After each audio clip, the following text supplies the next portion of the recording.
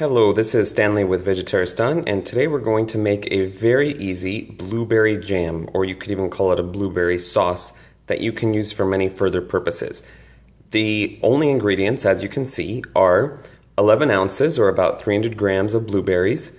Then I will use 2 teaspoons of light brown sugar, 2 teaspoons of this chia flaxseed mix. If you don't have such a mix, you can just use regular ground flax seeds um, a pinch of cinnamon, and a teaspoon of vanilla extract. So let's begin. So I started by just putting the brown sugar and the blueberries into a small pot and I'm going to put this on a medium heat and let the blueberries boil down for about 5 minutes.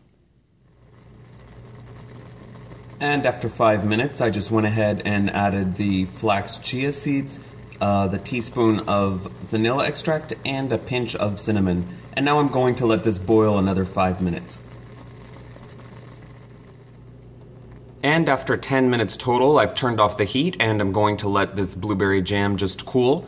That's pretty much it. You can use the same technique with other fruit.